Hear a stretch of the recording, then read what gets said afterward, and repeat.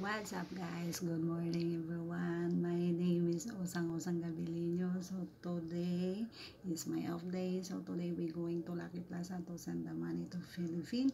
Now today we going to Lucky Plaza. So mamaya ipapakita ko sa inyo kung ano ang itsura ng Lucky Plaza.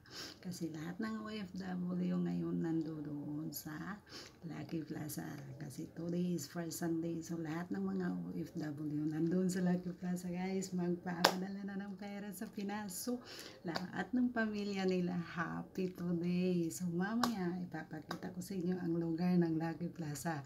Yung Lucky Plaza na yun guys, yun yung lugar na dito sa Singapore. Doon nagmi-meet lahat ng mga Pilipino dito, OFW.